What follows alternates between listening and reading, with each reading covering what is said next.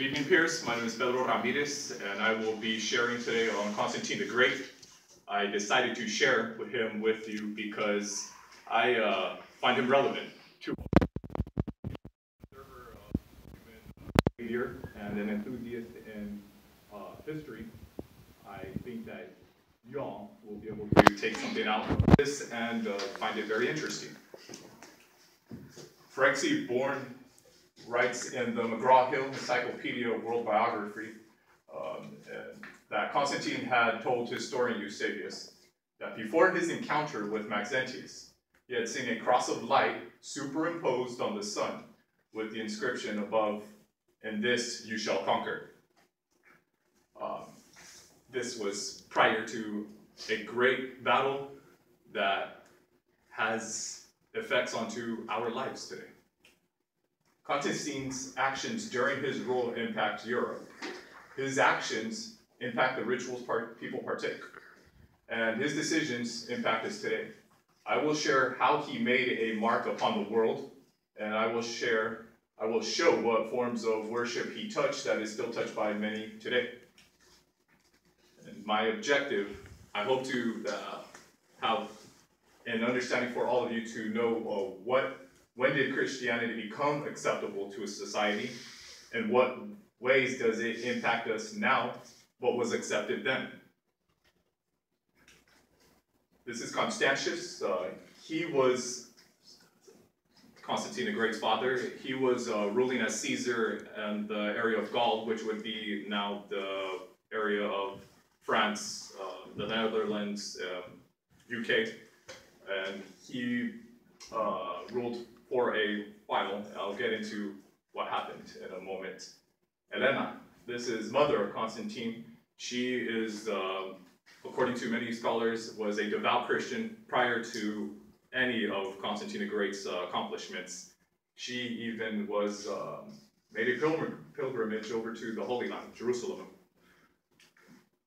And this is uh, one of my favorite paintings that I was able to gather for this presentation.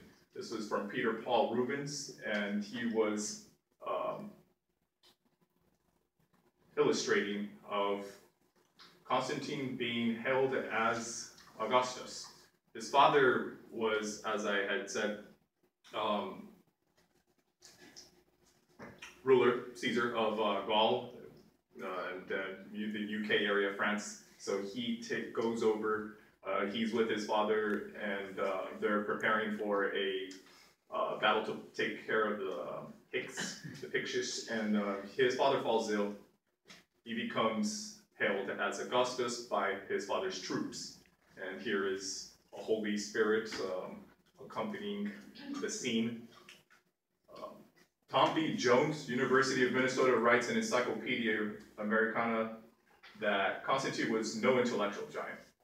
Yet he took himself very seriously with regard to what he considered his mission to promote Christianity. Uh, the accomplishments of Constantine the Great was something to be attributed to the societies of them to be called holy. Uh, for many years, there was many paintings where Holy Spirit is aiding him in battle into his conquests. This one specifically, the Battle of Milvian Bridge.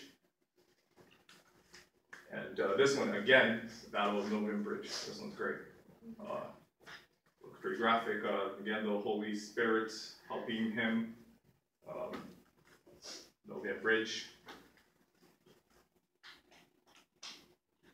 And uh, it was rumored by Eusebius, because it wasn't until later that Eusebius, historian, came out with that Constantine had told him that he saw a fiery cross in the sky prior to his uh, battle. And uh, this one, yet it's all depicting it all at the same time, all the scenes of what was to occur. Dragon. This is uh, the Battle of Milvian River, I mean, Milvian Bridge, sorry. And uh, right here, Maxentius, his rival, is uh, overwhelmed he is drowned at the Tiber River. Constantine, uh, in his accomplishments later on in his life, as he was able to um, be so powerful that he was able to unify all of the Roman Empire under his own rulership. And in his uh, desire to be cool, he moved the capital, Rome, which was, you know, in Italy, over to a new location, New Rome, which is now the modern day um, Istanbul, but uh, people called it back then Constantinople. He called it New Rome, but the people decided Constantine City, Constantinople. Uh, this was in the 5th century that later after him, that Emperor Justinian made the Hagia Sophia, Sancta Sophia uh, was what it was called then. The Arabics, when they took over it, they renamed it uh, Hagia Sophia. Um, that's a very beautiful archaeological, I mean, um, building that's one of the best in the world. So there's very beautiful uh, murals in there. And this is a scene of his city that he constructed, you know, many centuries later, being taken over by the Ottoman Empire. There was no earlier painting of what it what appeared like, but this is the earliest it being taken over by the Ottomans to start their conquest. In uh, 280 AD, Constantine was uh, born, and uh, he was born in the city of uh, Nice, now modern day Serbia area. Um, upon the death of uh, Constantius, his father, his troops held Constantine as Augustus in York in 306. In 312, Constantine invades the Italy portion of Rome. Maxentius was defeated at the Milvian Bridge and drowned at the Tiber River. In 313, Constantine enacts the Edict of Milan. The Edict of Milan was a agreement for the other Augustus of the empire to, to come to an agreement that there will be no more persecution of Christians. There will be no state religion. There would be at all. Everyone could worship whatever they want, kind of like today. Um, sorry, uh, Linnaeus uh, rules in the east and Constantine rules in the west for a decade. Linnaeus was, Licinius, sorry, was the uh, co-writer of the Edict of Milan. The, like, it was needed for him, you know, for the other half of the empire to agree to the agree to these terms. Um, each ruled together with a distrust of each other, and that's why it leaded into 324. Licinius, not a really uh, good um, wasn't really agreeing to the Edict of Milan. He started mistreating Christians. Constantine uh, took advantage of that. He was just looking for an excuse. He marches over to the east and takes over. Uh, he's, uh, Licinius is defeated by Constantine's forces in that year, in 324. And Constantine becomes uh, sole emperor of Rome. In 326, Constantine initiates a, the construction of New Rome, uh, Constantinople, which I showed a little bit ago at the site of an ancient Greek port town. Uh, it was very small, but because of him moving the capital of the empire there, then it was growing to be what it is still today. At 337, uh, he passed.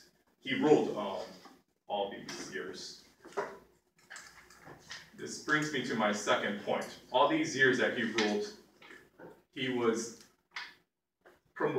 allowed the flourishing of Christianity he allowed for many different types of people, different cultures, to come under Roman uh, infantry and serve with him. He would take in the barbarians, the Germans, and not to discriminate as long as they had an allegiance with them. So there was a mixture of all types of cultures that soon became integrated. It was just all one. The the Germans, uh, the, those barbaric tribes, they were fond of the, the goddess Yostri. Uh, she was the goddess of fertility. And the rabbit, uh, this bird, uh, these, you know, that can still be seen today. We celebrate Easter. And it was, uh, those, those things were able to mesh into the cultures of all each other, uh, everyone's societies and, and Europe the, um, the Northern Europeans, the Scandinavians, uh, all of them had a fascination, well, tree worship. They worshipped trees they would put up on, on the sides of their barns to keep away demons. It was the Germans later on that started enact, uh, the process of decorating them with little wafers, having pyramids of wood, and then uh, as time goes by, it becomes two in one, decorating the tree, and uh, that's how we see that getting mixed around. The Romans themselves, uh, the gift giving, that, that was prior to uh, Christmas. Gift giving was already being done prior to Christmas being created and by the Romans uh, celebrating uh, Sat the goddess Saturn, and uh, they would give gifts. So all of those things, they were to borrow and assimilating each other's cultures. Constantine's action permitted cultures to be able to assimilate each other's rituals. Constantine was connected to the way people celebrated them. And the east of the empire, people would uh, had chosen their Christmas Day Epiphany um, as January 6th. That's when the children would receive gifts. And uh, January 25th was the West, how they chose for the, their Christmas. And their house those 12 days, that's how we end up with 12 days of Christmas. Uh, I will bring now to a sec another third point of how this impacts us now. Every year, societies worldwide partake in the celebrations that were of the time of Constantine. Constantine is connected to the way people celebrate now. In Japan, Christianity is a minority. People do gift giving over there. Christmas this has spread all over the world. Um, it is everywhere. South America and, and completely every single part of the globe has is familiar with this ritual that comes from this land of Constantine. And uh, I'd like to summarize that.